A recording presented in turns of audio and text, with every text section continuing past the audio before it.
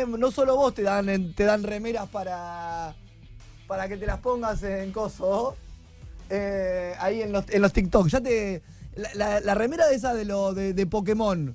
¿esa, ¿Esa te la dieron ahí o es tuya? ¿Es tuya la de Ga- Gangster? Era el de Pokémon Gangster, ¿no? Gangster, ¿cómo me acuerdo, no? Los Pokémon. Acá. Ah, Gasly, Gasly, Gasly. Gasly. Bueno, acá, quería una de gorilas, quería una de gorilas. Y, y bueno, acá en, en Hueso Store pasé ayer y me, y me regalaron una. Me dijo, llévate una, llévate, llévate una remerita, promocioname la, promocioname la pilcha ahí en 48, 9 y 10, ¿eh? Muy linda remerita de gorilas, ahí. Así que le mando un abrazo enorme al Tecla, al Tecla de los sincronizados, al Tecla Set, que va a venir acá seguramente a la radio a compartir con nosotros en algún momento. Bueno, Juan, todo, todo tranquilo, vos, bien, estudiando mucho, ¿cómo va el estudio? ¿Bien? Eh, ¿Te estás metiendo? Complicado, ¿no? Bueno, bien, entonces. eh, pero te va a ir muy bien, seguramente te vaya muy bien y te vas a recibir y vas a ser un gran operador que va a tener esta ciudad de las diagonales. Eh, o quizás te expandas o no, no lo sabemos. eh. Dios proveerá el futuro de nuestro operador Juan Lompart. Ayer fui a la roda, impresionante, como siempre, llenísimo. Y se nos va a llover tipo 5 de la mañana. Estamos, estábamos ahí bailando unas cumbias, tipo, no, tipo 3 y media, 4 por ahí, yo ya me estaba yendo. Se la va a llover, corte una lluvia torrencial, resarpada, ahí corte una lluviecita, esto tampoco resarpada, ¿no? Fue como medio unas gotas que empezaron a caer y empezó a bajar la temperatura. Y estábamos ahí como corte bailando unas cumbias con una lluvia. La verdad, muy lindo, ¿eh? Eh, y después me queda cerca de casa Pancho Villa. ¿Vos conocés Pancho Villa, la panchería esa? No o sea, estaba- tenía plata y dije, bueno, a ver, vamos a conocer Pancho Villa, que nunca en mi vida eh, había conocido Pancho Villa, nunca había ido a Pancho Villa, pensé que solamente, que no vendían solamente panchos, que pensé que vendían hamburguesas, sándwiches milanesa, algo más comestible que un pancho. Siempre lo tuve ahí cerca de casa, siempre vivía a 10 cuadras de Pancho Villa, ahora vivo a 5. eh, mi ex vivía por ahí también, ahí en la, en la Plaza Belgrano. Dije, bueno, a ver, tenía hambre, no había comido nada. Dije, a ver, me voy a comer un pancho. O, o voy a ver qué tiene Pancho Villa. Llego a Pancho Villa y me dice, no, lo único que vendemos acá es pancho. ¿Solamente vendés pancho? Le digo, sí. Y me dice como el copado, como diciendo, bueno, voy a venir seguido porque soy vecino, acá hay un par de cuadras, el loco recopado, que yo. 600 mangos el pancho, 600 p. Es, el, es un pancho grande, ¿viste? Esos panchos así, como como los del Full 24, ¿viste? Cuando, cuando compras el francés, cuando compras el alemán, el platense, ¿viste? No sé cómo están esos ahora eh, en el centro. Más o menos por ahí. Bueno, este me dice, bueno, ¿qué le pones? Ponele, no sé qué tenés. Y no sé, tengo chucrut, tengo salsa esto, salsa... Ponele todo, todo, menos picante y ponele todo. Y bueno, me fui comiendo el pancho, caminando para, para casa. La verdad que me llenó igual, ¿eh? 600p me llenó el panchito. No sé si lo volvería a comer, pero eh, la verdad que muy mm, recomendable Pancho Villa. En estas eh, secciones de recomendaciones que estamos armando ya para la semana que viene, vamos a tener como una sección de recomendaciones. Así que bueno, vos que cenaste bien, Juan, eh, ya te, te, te- te- te organizaste para hoy para el almuerzo. Yo ahora le voy a escribir acá a, a don Juan, ya le voy a escribir a don Juan. Don Juan, acá. Hola, ¿cómo andás? ¿Me preparás una mila napolitana con papa? Bueno, tengo ganas de comer bien. Ah, te lo mandé. Tengo ganas de comer bien hoy al, me- al mediodía, así que eh, llenadora. 590p, eh, la, la mila napolitana con papas. Sí, sí. Eh, no quiere publicidad, pero yo se las hago igual de onda porque la verdad que me parece súper barato. Don Juan no conoce la inflación todavía, no la conoce. Hay una inflación de más de 102%. Don Juan no la conoce la inflación. Las empanadas salen 140, pero no son esas empanadas de la tienda de empanadas. Esa de mierda que eh, arrancaron con 40 pesos y ahora salen 140. Que el mes que viene va a salir 160 la empanada esa. Que no tiene ni carne, es carne picada de perro o carne de pollo eh, o pollo de perro. Esto, eh, Don Juan, 140, pero son unas buenas empanadas. Carne cortada a cuchillo, pollo a la mostaza, caprese, jamón y queso. Don Juan está en 46, 8 y 9. ¿Eh? Eh, no, no estaría pagando Don Juan, pero yo se la hago igual. Tampoco nos estaría regalando. malísimo el delivery, me dicen acá. Bueno, vamos a mejorar, vamos a, vamos a ir mejorando de a poco. Yo estoy con Don Juan, que me banca el almuerzo todos los mediodías. ¿eh? Un buen sándwich de Mila, también 4.90. Eh, por quieto mango comés piola. Así que ahora ya, tipo 2 de la tarde, me voy a clavar una Mila napolitana con papas. Ahí para mi, receso de almuerzo de, pollo, ¿no? Sí, vos sabés que el otro día la de carne no vino tan, tan piola. Voy a pedir de pollo, tenés razón. Aparte es un pa que no como de pollo. Voy a pedir de pollo. Juancito acá, como siempre, todo el año, eh, recomendando y, dándome eh, consejos para la vida, para la vida normal. ¿Alguna peli, serie, algo recomendable para hacer? Para ver qué viste, no, nada. Bueno, fíjate, preparate alguna serie para, para comentar. No te chavo, no hace nada. Dice nada bueno, eh, fin de semana, ¿tenés planeado algo? Mirá que hay fiesta de la cerveza, ahí San Patricio, ayer vino Sol, acá de Mendiópolis, viernes y sábado tenemos San Patricio, mañana toca Manu de Sueño de Pescado, el viernes toca Se va el Camello, San Patricio en el medio, el sábado San Patricio, todos en el Parque Saavedra, después toca Esquina Libertad y después toca eh, Delirio. Tenemos entradas para todo, tenemos entradas para Manu para mañana, para ver a Manu en la biblioteca para Sueño de Pescado, de Sueño de Pescado. Tenemos entrada para Delirio y tenemos entradas para Esquina Libertad, que tocan el sábado en el Favaloro. Y aparte, vamos a estar regalando pintas de Mendiópolis. Vamos a empezar con dos. Vamos a, sortear. Tenés que. Eh, arroba mati.bonadeo, porque no tenemos con, el teléfono acá. Así que arroba mati.bonadeo, te comunicas en, Instagram, me escribís a mí y estás participando, ¿sí? Así que bueno, eh, ya lo sabes. Dos entradas para ir a ver a Manu mañana en la biblioteca. Eh, dos entradas para ir a ver a Esquina Libertad el sábado en el Teatro René Favaloro. Dos entradas para ir a ver a Delirio el sábado en el Teatro René Favaloro. Y tenemos pintas de Mendiópolis para el viernes y sábado. Eh, tenemos San Patricio en el Parque Saavedra. Así que, como otro hermoso día en el útero, obviamente que el Viri acá te invita a salvarte el fin de, ¿no? Obviamente siempre eh, bancando, si hay inflación de 102%, bueno, acá entre el biribiri y otro hermoso día en el útero, te, tratamos de solucionar un poco la situación. El tema entradas, tema alcohol, así. Y se van a sumar y sumando más cosas. Por ahora tenemos eso y que es un montón. ¿eh? Y estamos a miércoles. Miércoles 15 de marzo, ¿eh? Así que bueno, vamos a arrancar rápidamente con la info de música, la info de rock que tenemos en el día de hoy. ¿Todo bien, Santi? Me, Santi me mira, se ríe. ¿Todo tranquilo? ¿Algo para decirme? No, no dice nada. ¿Está tomando mate? ¿qué está haciendo? Ah, ¿tenemos teléfono? ¿Hay un teléfono? No te escucho, si no me hablas. Ah, está viendo, pensé que había un teléfono. Bueno, Cine Los Persas suma a Mendoza a su gira nacional en formato sinfónico y rockero. Eh, el Cine Los Persas suma a Mendoza a su gira nacional con un show en formato sinfónico previsto para el 7 de junio en el Teatro Plaza de la capital provincial y una presentación en su habitual ropaje rockero que se realizará el 9 de junio en el Arena de Maipú.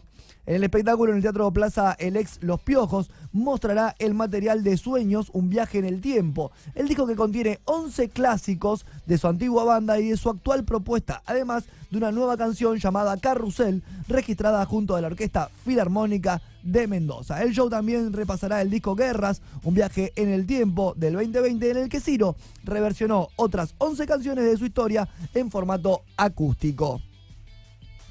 Eh, el paso por Mendoza continuará dos días después en la arena de Maipú, aunque ya con su reconocida formación de corte rockero. ¿eh? Así que Ciro viene presentándose en un formato medio eh, filarmónico, ¿no? Con una orquesta zarpada. Lo hizo en el Cosquín Rock con una orquesta zarpada. Temas tranca, los primeros cinco o seis temas tranquilos. Y después, ¡pum! Toda la artillería rockera que tiene.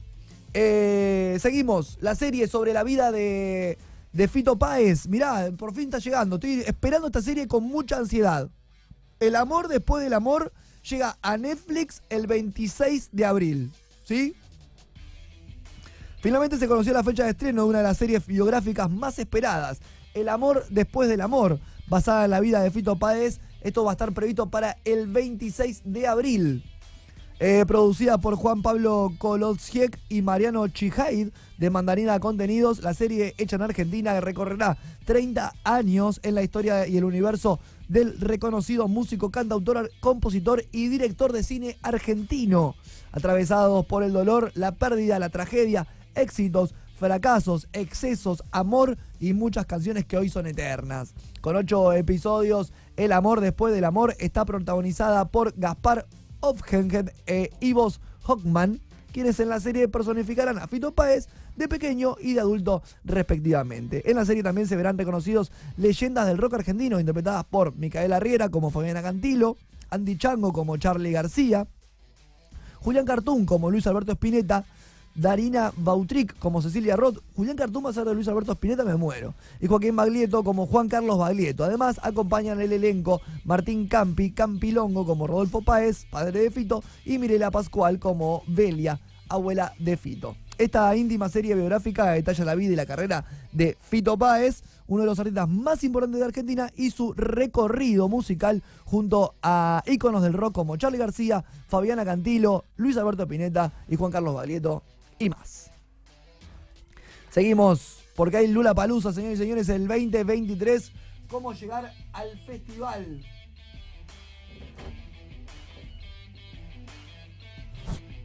¿Cómo llegar al festival?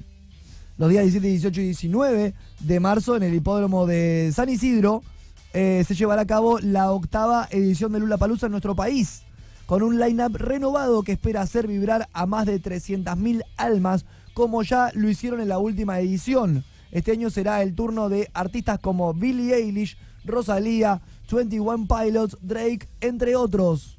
Uno de los factores a tener en cuenta para quienes eh, vayan es cómo y en qué llegar. Se espera que las diferentes líneas de colectivo público, como las de trenes urbanos, incrementen su servicio para poder responder a la alta demanda que se espera para uno de los festivales más esperados de este 2023. En esta nota te contamos todo sobre este sobre estas cuatro aplicaciones gratuitas para que pueda llegar de una manera fácil y segura a Lula Palusa 2023. Tenemos la Walby. Esta app es la opción más completa para conocer trayectos, horarios en tiempo real, tiempo de viaje y costos de colectivo, subte, tren, ecobici, taxis y Cabify. Y consulta, eh, incluso consultar y recargar saldo en la sube. ¿Vos, Juan, te subís a un Didi Moto, por ejemplo?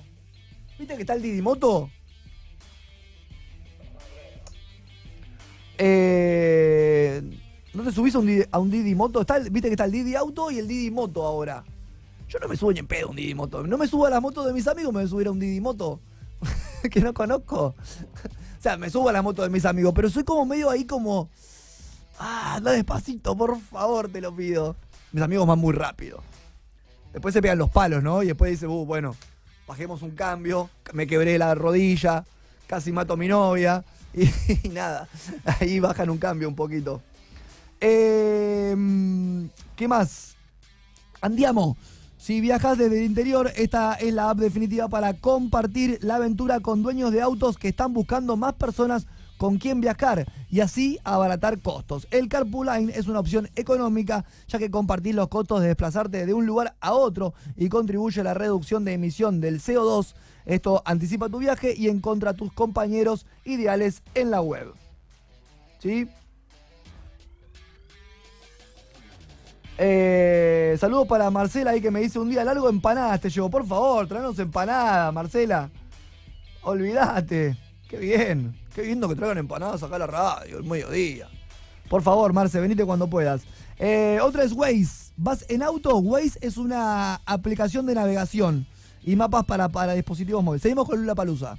Eh, se basa en información instantánea proporcionada por sus usuarios para consultar el estado actualizado del tráfico, accidentes, obras y otros obstáculos en el trayecto. Además ofrece rutas alternativas y sugerencias para evitar el tráfico. Así que bueno, ahí estamos con algunas indicaciones para el Lula Palusa. Eh, gente que se empieza a comunicar acá al Instagram eh, extraño tu programa en una emisora amiga. Ya va a llegar, ya llega. En dos semanas ya estamos de vuelta. Eh, abrazo fuerte, saludos para Pili, que ya estuvimos acá en la radio. Cami dice, aguante los panchos. Eh, están buenos los panchos, sí, están buenos los panchos de Pancho Villa. Muy poco caro igual. Eh, yo quiero para mañana, dale, dice Cami, no sé qué querés para mañana, pero avisanos y contanos bien, ¿no? Porque no sabemos qué es lo que querés para mañana. Quiero participar por la entrada de Delirio, dice Marcela. Bueno, saludos para el Raba también, para la gente de Triple Producciones, ahí que se están eh, metiendo acá al vivo del Biribiri. María Becerra, en la previa de Lula Palusa, sueño con durar en el tiempo a través de mis canciones. Faltan pocos días para que llegue una nueva edición de Lula Palusa y María, nuestra nena de Argentina, serán las artistas principales del tercer día del festival compartiendo line-up nada más ni nada menos que con Billie Eilish y Lil Nas. En plena organización de su próxima gran presentación, en la que sumará las canciones de su último disco, la artista cuenta cómo vive la previa. Estoy chocha y ansiosa porque es un show de todo nuevo, con la temática del nuevo álbum. La emoción a flor de piel. Esto lo aseguró a la prensa. Eh, ¿Qué más tenemos? Slash. Slash. Eh, espérate. Quienes siguen el legendario eh, guitarrista de los Guns en las redes sociales habrán notado algunas de sus posteos con imágenes de un tanto góticas. O con imágenes donde se puede percibir su gusto con el género de terror en todas sus formas. En las últimas horas, la revista Variety informó que Slash, de 57 años, ¿ya 57 años Slash? Mira, lanzó una nueva productora de películas de terror llamada Berserk Gang. Se trata de una asociación entre el guitarrista Pasha Patrick autor de Hangar 18 Media, y Rodrigo Gudinio, fundador y cineasta de Rumorg Magazine. También trabajarán junto a otros ejecutivos vinculados y especializados en el mencionado género del séptimo arte. ¿Sos de, de peli de terror vos, Juan? ¿Te cabe el la peli de terror? Yo hace mucho no veo. Son malísimas, siempre son malísimas. En un comunicado de prensa, el dijo, siempre han sido un gran fanático del terror, especialmente desde los días en que las películas de terror realmente te asustaban muchísimo. Yo creo que después de ver eh, Después de ver El Exorcista, después de ver El Exorcista, no hubo película de terror que me haya eh, impresionado. ¿Vos viste El Exorcista? ¿Y te tuviste miedo? ¿A qué edad la viste? Yo la vi a los 12 años. A, los 12 años la vi. Me cagué hasta las patas. Flashé que tenía el demonio adentro en un momento. Estaba, estaba en Tandil y sentía como que me vibraba el cuerpo. Y decía, ay, no, no tengo a mi madre cerca, no tengo a mi mamá cerca. Y pensaba que se me metía el demonio en un momento. Horrible, realmente. Después de esa peli, no tuve más miedo a ninguna película de terror. A ninguna. Poneme lo que quieras. La llamada.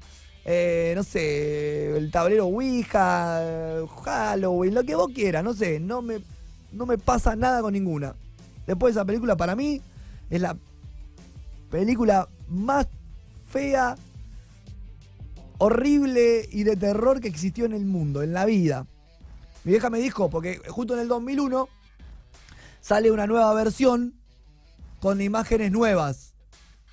Yo decía, mamá, quiero ir al cine con mis amigos a ver El Exorcista, que ese yo, que el otro. me dijo, bueno, Mati, vamos a alquilar la vieja, la del 73, que es la misma, pero en ese 2001 habían agregado unas 20 minutos más, con la chica esta que baja por las escaleras, después la del espejo.